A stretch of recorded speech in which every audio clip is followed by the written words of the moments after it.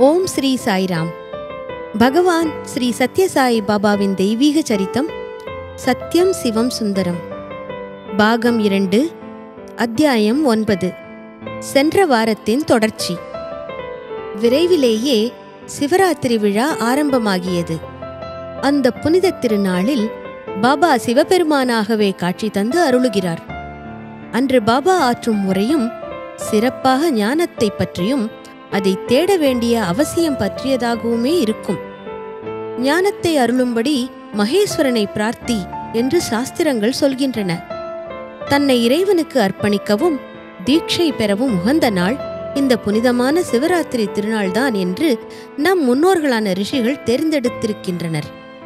சிவராத்திரி திருநாளன்று அற்புதங்களில் எல்லாம் சிறந்த அற்புதமாக அவருள் உருவாகி வளர்ந்த லிங்கம் தோன்றும். ஆயிரத்தி தொள்ளாயிரத்தி அறுபத்தி ஐந்தாம் ஆண்டு பதினைந்தாயிரத்துக்கும் மேற்பட்ட மக்கள் கூடி கிடைத்தற்கரிய இந்த தெய்வீக நிகழ்ச்சியை பயபக்தியோடும் துடிக்கும் இதயத்தோடும் கண்டு களித்தனர். மண்டபத்தில் வீற்றிருந்த தெய்வீக ஒளி வீசும் பாபாவின் திருவுருவத்தை இமை கொட்டாமல் பார்த்து கொண்டிருந்தார்கள். ஒளி வீசும் மரகத லிங்கம் ஒன்று பாபாவின் வாய் வழியாக வெளிவந்த போது மக்களின் தவிப்பு உச்சகட்டத்தை அடைந்தது. கண்ணை பறிக்கும் வண்ணம் ஒளி வீசி திகழ்ந்த அந்த மரகதலிங்கம் பிரம்மாண்டத்தை குறிப்பதாகும். சிவபெருமான் விழிப்போடு காத்து வரும் இந்த பிரபஞ்சத்தையே அது குறிக்கிறது. உருவமற்ற பரம்பொருளை குறிக்கும் அந்த லிங்கத்தை முழுமையாக அறிந்து கொள்ள நம் அற்ப மனத்துக்கு சக்தி இல்லை. அந்த லிங்கத்தின் மகத்தான தோற்றம் எங்கள் கண்களில் நீரை பொழிவித்தது. நன்றியும் மகிழ்ச்சியும் ஊற்றாகப் பெருகின பிரபஞ்சத்தில் உள்ள அசையும் பொருட்கள் அசையா பொருட்கள் வானவெளி விண்மீன் கூட்டம் மனித இதயம் ஆகிய அனைத்தையும் அந்த லிங்கம் வெளிப்படுத்துகிறது. சிவராத்திரி முடிந்து இரண்டு வாரங்கள் வரை பாபா அங்கு கூடியிருந்த மக்களில் வயதானவர்கள் நோயாளிகள் அங்கக்குறையுடையவர்கள் ஆகிய அனைவரையும் கவனித்து அருள் நல்கினார். எவரெவருக்கு அவருடைய அனுக்கிரகம் உடனே தேவையோ அவர்களை எல்லாம் கவனித்து அவர்களின் உடலையும் மனத்தையும் ஆத்மாவையும் பழுது பார்த்து சீராக்கி அனுப்பி வைத்தார். அதற்கு பின் பாபா கோதாவரி நதியின் கழிமுக பிரதேசத்தில் உள்ள காக்கிநாடா என்ற ஊருக்கு புறப்பட்டார். ஷிரடி பாபாவின் பக்தர்கள் அந்த ஊரில் சாயிபாபாவுக்கு ஒரு கோயில் நிர்மாணித்திருந்தனர். அந்த ஆலயத்தின் தொடக்க விழாவிற்குத்தான் பாபா சென்றார். காக்கிநாடாவில் பாபாவை காண்பதற்கென்றே கூடிய கூட்டம் அளவிடற்கு அரியதாய் இருந்தது தெருக்கள் முழுவதும் மக்கள் வெள்ளம். வீடுகளின் கூரை மீதெல்லாம் மக்கள் கூட்டம். மக்கள் கூட்டத்தை தாங்க முடியாமல் எங்கே கூரைகள் சரிந்துவிடுமோ என்று கூட்டத்துக்கு ஏற்பாடு செய்திருந்தவர்கள் கவலை கொண்டனர். அவ்வாறு ஏதும் நேராமல் காப்பதாக பாபா உறுதியளித்தார். அந்த கூட்டத்தினரின் ஆர்வத்தை பார்த்த பாபா இந்த ஆர்வம் நம்பிக்கை பக்தி இவையே உங்கள் எல்லாரையும் காக்க போதுமானது என்றார். அன்று உரை நிகழ்த்தும் போது இறைவன் எடுக்கும் அவதாரங்கள் ஒவ்வொன்றுக்கும் ஒரு கோவில் கட்ட வேண்டிய அவசியம் இல்லை. எந்த இடத்திலும் எந்த நேரத்திலும் நீங்கள் அவரை அழைக்கலாம். பழங்கால கோயில்களில் தலைமுறை தலைமுறையாக உண்மையான பக்தர்களின் பிரார்த்தனையும் சீலமும் நிரம்பியுள்ளன. அவர்கள் சேமித்து வைத்துள்ள அந்த மூலதனத்தை மறுப்பது அழகல்ல என்றார். காக்கிநாடாவிலிருந்து இருபது கல் தொலைவில் உள்ள ஷம்பரா என்ற கிராமத்துக்கு சென்றார் பாபா. அந்த கிராமம் பிரசாந்தி நிலையத்திலிருந்து எழுநூற்றி ஐம்பது மைல் தொலைவில் இருந்த போதிலும் அவ்வூர் மக்கள் இருபது முப்பது நூறு பேர் கொண்ட கூட்டமாக பிரசாந்தி நிலையத்துக்கு வந்து சில வாரங்கள் தங்கி தங்கள் இதயங்களை நம்பிக்கையால் நிரப்பிக்கொண்டு ஊர் திரும்புவது வழக்கம். அதனால் அந்த கிராமம் பக்தி என்னும் மலர்கள் பூத்த அழகிய மலர் தோட்டமாக காட்சியளித்தது. பிரணவ மந்திரத்தை ஓதுதல் பஜனை நாமஸ்மரணை ஆகியவைகளை தம் அன்றாட கடமைகளாக கொண்டதால் ஏற்பட்ட புனிதமான சூழ்நிலையால் அந்த கிராமத்தின் ஒவ்வொரு வீடும் கிராமம் முழுவதும் தூய்மை பெற்று பிரசாந்தி நிலையமாகவே திகழ்ந்தது. இந்த பக்தி நிறைந்த மக்கள் வழியெல்லாம் கொடிகளும் மாலைகளும் தோரணங்களுமாக பாபாவை வரவேற்றதில் வியப்பென்ன? அந்த ஊரில் ஒவ்வொரு ஆண்டும் பாகவத விரிவுரை நிகழ்த்துவது வழக்கம். இந்த விரிவுரை மாதக்கணக்கில் நடைபெறும். பாகவதத்தில் ஊறி லயித்துப் போன அவ்வூர் மக்களுக்கு பாபாவின் வருகை குழலூதி பிரபஞ்சத்தையே மயக்கிய அந்த இறைவனின் வருகையாகவே தோன்றியது. அதனை எண்ணி அவர்கள் மகிழ்ச்சிக் கடலில் திளைத்தனர். பாபாவைத் தொடர்ந்து ஷம்பரா சென்ற நாங்கள் பாகவதத்தின் தெளிவான ஆர்வமூட்டும் விளக்க உரையை நேரில் கண்டோம்.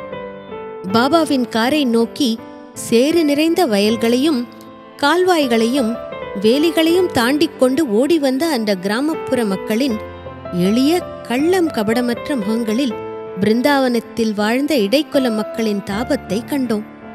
ஷம்பராவை நெருங்க நெருங்க பாகவதத்தின் ஏடுகள் எங்களுக்கு மிகத் தெளிவாக விளங்கின.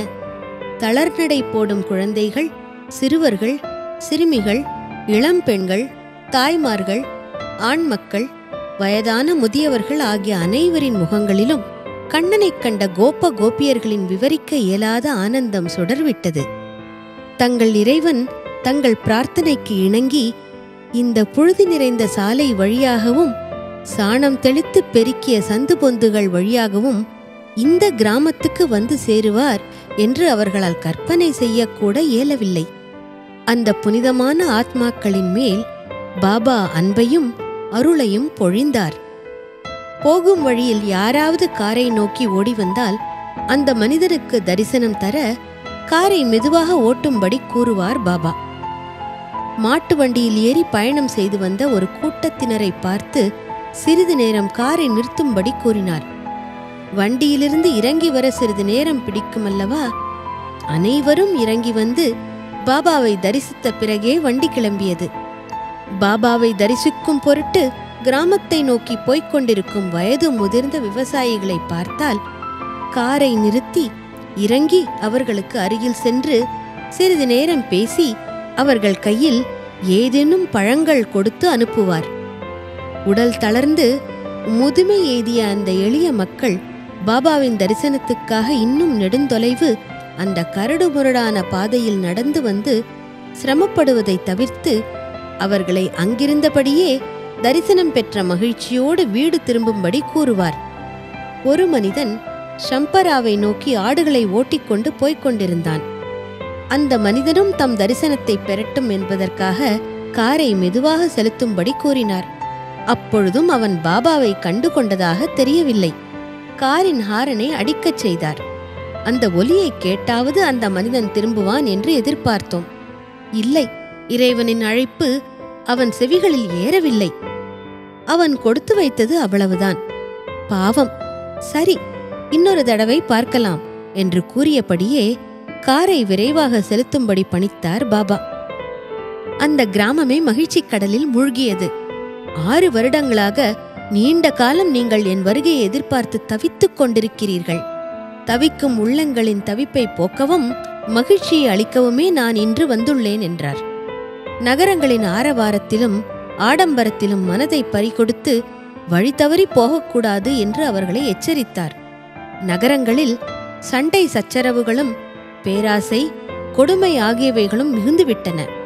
நிலைமை பேச்சு பழக்க வழக்கங்கள் எல்லாமே கேவலமாகி விட்டன மூர்க்கத்தனமாக மாறாதிருக்க வளர்ப்பு மிருகங்களை கட்டி போட்டு பிரியம் காட்டி வளர்ப்பது போல் மனிதனை கூட நகரம் வளர்ப்பு மிருகமாக்கிவிட்டது. அவசரம் வேதனை மனத்துயர் ஆடம்பரம் சொத்துரிமை போட்டி ஆகிய போராட்டங்களினால் நகர்ப்புற மனிதன் தன்னுள் இருக்கும் தெய்வீக சக்தியையே மறந்து நிற்கிறான். நீங்கள் கிராமத்திலேயே மன நிறைவோடு வாழ முயற்சியுங்கள். மகிழ்ச்சியையும் நிறைவையும் பெற நகரங்களுக்கு ஓடாதீர்கள். அவை வெளியிலிருந்து பெறப்படும் பொருட்கள் அல்ல. அவை உள் மனத்தின் செல்வங்கள் என்றார் பாபா. அவர் சென்ற ஒவ்வொரு கிராமத்திலும் அந்த கிராம மக்களுக்கு இந்த அறிவுரையைத்தான் வழங்கினார். கடைசியாக அவர் வருகை புரிந்த சத்யவாடா என்ற ஊரில் பேசும்போது நகரங்களில் பணிவும் பயபக்தியும் வேகமாக மறைந்து வருகின்றன. அகங்காரமும் தெய்வ நிந்தனையும் பெருகிவிட்டன. பாவ பயம் நிறமிழந்து விட்டது. சகோதர மக்களிடமோ தெய்வத்திடமோ நகரவாசிக்கு நம்பிக்கை இல்லை அன்பில்லை. நற்பண்புகளுக்கு நிரந்தர சாட்சியான பணிவு பயபக்தி பாவ பயம் சத்தியம் வெல்லும் என்ற நம்பிக்கை ஆகிய குணங்களை இன்றைக்கு கிராமங்களில்தான் காண முடிகிறது என்றார். காக்கிநாடாவிலிருந்து பாபா பித்தாபுரம் சென்றார். அங்கே சரித்திர கால கோட்டையின் இடிபாடுகளுக்கு இடையே கூடியிருந்த திரளான மக்கள் கூட்டத்தில் பேசும்போது இந்த கோட்டை அரண்களும் கோபுர சிகரங்களும் ஒரு காலத்தில் அதிகாரம் கௌரவம் ஆகியவைகளின் சின்னங்களாக இருந்தன. இந்த இடிபாடுகள் இன்று அதிர்ஷ்டத்தின் பலவீனத்தையும் நிலையற்ற தன்மையையும் உணர்த்தும் சின்னங்களாக காட்சியளிக்கின்றன. இடிந்து பரிதாபமாக காட்சி தரும் இந்த சுவர்கள் காலம் எல்லாவற்றையும் வெற்றி கொள்ளும் என்ற உண்மையை உங்களுக்கு கற்பிக்கின்றன என்றார் பாபா. அடுத்து அவர் வருகை பெறும் பாக்கியம் செய்த இடம் விசாகப்பட்டினம் மாவட்டத்தில் உள்ள எளமஞ்சிலி என்ற கிராமமாகும். அவரை தரிசிக்கவும் அவருடைய உபதேசங்களை கேட்கவும் அந்த மதிப்பற்ற செல்வத்தை சுமந்து வீடு செல்லவும் விரும்பிய ஐம்பதாயிரத்துக்கும் மேற்பட்ட மக்கள் கூட்டத்தில் பேசும்போது வாடி உதிரும் மலர்களையும் அழுகிப்போகும் கனிகளையும் மதிப்பற்ற காசுகளையும் பெற நான் இங்கே வரவில்லை.